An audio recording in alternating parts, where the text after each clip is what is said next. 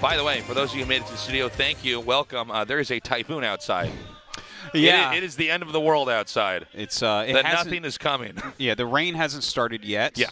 I believe it's supposed to start any time now. But Yes. uh, yeah, a typhoon, from my understanding, is what you call a hurricane that's in the Pacific Ocean. Right? Yeah, why do they have different names for that in I different oceans? You know, West Coast, East Coast, the rivalry. The they gotta have different storm names. Oh my God, I actually wasn't ready for that. That's pretty good. Yeah, yeah. Why? It's a typhoon if it's in the Pacific, And it's but a it's hurricane. a hurricane if it's in the Atlantic. Yeah, yeah. Is it not possible to have a hurricane anywhere? No, it's the same thing. As far as I know, in, it's like, the exactly the Ocean? same thing. Oh, what do they call that? I don't know. That's a good question. Can right you there. not have a hurricane Maybe or, or that's a a typhoon, typhoon or whatever well. in the? I don't know. And I guess you probably can't have one in the Arctic Ocean, right? I that don't probably think you wouldn't can. work. Yeah, They that, freeze. that area actually, yeah. it just becomes a giant ice cloud, and then it crashes into the Earth, and that's how we got Antarctica. Yeah. Now let's take a look at our bracket. so, how are you going to celebrate this uh, Pacific hurricane that we're going to be having today? Well, you it's only- out and dance in the rain. Go on Uh, and get hit by lightning. yes, it's only for today, right? The, the the typhoon's gone tomorrow, right? Well, I don't know.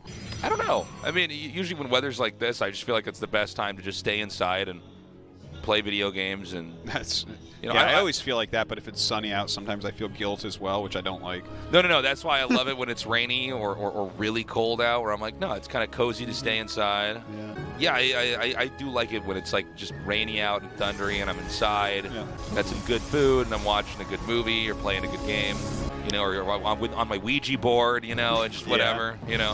It's a good time. Yeah, As the thunder strikes, you get to yeah, uncover what's happening. yeah. I actually get kind of excited when there's like a, a really big, like uh, storm that comes in, or like uh it, I know it's going to snow and all the traffic's going to be shut down. I always find that fun. Yeah, there is something about it. Did I've, you? I've always had that feeling where I've liked rainy days and stuff because Yeah. it's just kind of like, ah, I'm supposed to do what I'm going to do. yeah, I'm justified in playing games now because I Yeah. can't go out there. Yeah, and it's very cozy, like water hitting your window or something like that.